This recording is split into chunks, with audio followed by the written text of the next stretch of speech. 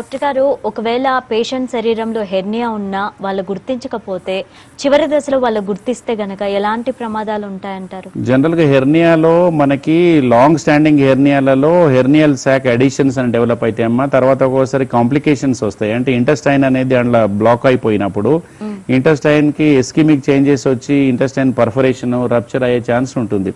అట్లాంటిది అది ప్రాణాపాయ స్థితి కాబట్టి మనం అది రాకముందే గుర్తించడము తర్వాత ఎప్పుడన్నా పర్ఫరేషన్ అయినా కానివ్వండి అబ్స్ట్రక్షన్ అయినా కానివ్వండి ఇర్రెడిసిబిలిటీ అబ్స్ట్రక్షన్ పర్ఫరేషన్ పెరటనైటిస్ అని అంటాం. ఈ కాంప్లికేషన్ స్టేజ్ వైజ్ ఉంటుంది. సో ఈ కాంప్లికేషన్ వచ్చినప్పుడు ఎంబడే సర్జన్ దగ్గరికి వెళ్ళి మనం చూయించేసుకొని దాన్ని గుర్తుపట్టి సర్జరీ చేసుకోవడం మంచిది.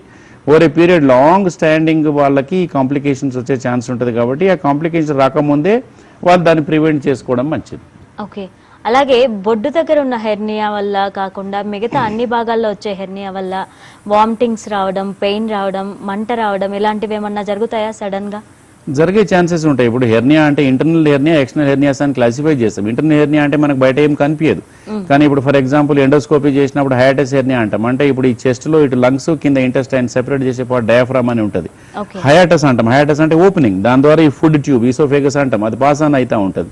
సో ఈ హయాటస్ అంటే ఈ ఏదైతే ఓపెనింగ్ ఉందో ఆ ఓపెనింగ్ వైడనింగ్ కావడం వలన కింద ఉన్న ఏదైతే డయాఫ్రామ్కి కింద ఉన్న పేగు పైకి చెస్ట్లోకి వెళ్ళిపోతా ఉంటుంది. హయాటస్ హెర్నియా అంటాం. సో ఇట్లాంటి హయాటస్ హెర్నియా ఇంటర్నల్ హెర్నియా కింద ఉంటుంది కాబట్టి దాన్ని గుర్తుపట్టలేము మనం. సిమ్టమ్స్ని బట్టి ఆ సీనియర్ డాక్టర్స్ గుర్తుపట్టి ఎండోస్కోపీ చేసి అల్ట్రాసౌండ్ చేసి దానికి సరైన వైద్యం ఇవ్వాల్సిన అవసరం ఉంటుంది.